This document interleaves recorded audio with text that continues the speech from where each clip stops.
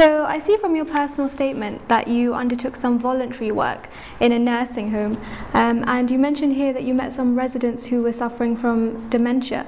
What do you understand by the term dementia?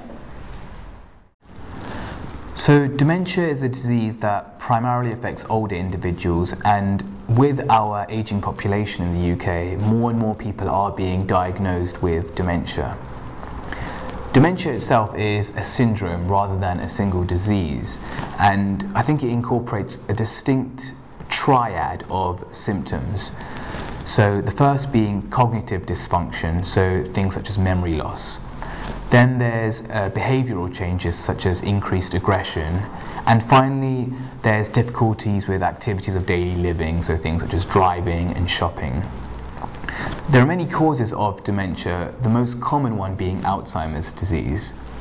And with Alzheimer's, the pathology behind it is that it's down to degenerative changes in the cerebral cortex in the brain. So the cortex atrophies, neurofibrillary tangles form inside the neurons and amyloid plaques form around the neurons.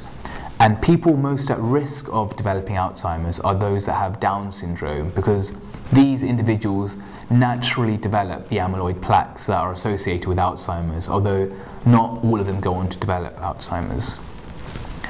The diagnosis of Alzheimer's needs to be confirmed with specialist imaging of the brain, but GPs can consider whether dementia is likely or unlikely using various cognitive assessments, so things like questionnaires. And one that I saw being used was called GP-COG. The management of dementia is primarily in the form of carers and occupational therapists who can develop and tailor specialist coping strategies to help the patient. Unfortunately, there are no pharmacological cures for dementia, although some patients are prescribed um, acetylcholinesterase inhibitors such as rivastigmine, and I think this has been shown to show some some improvement in their um, not improvement I should say some uh, reduction in their decline in cognition. The prognosis for dementia unfortunately is poor and most patients do die within five years of first showing symptoms.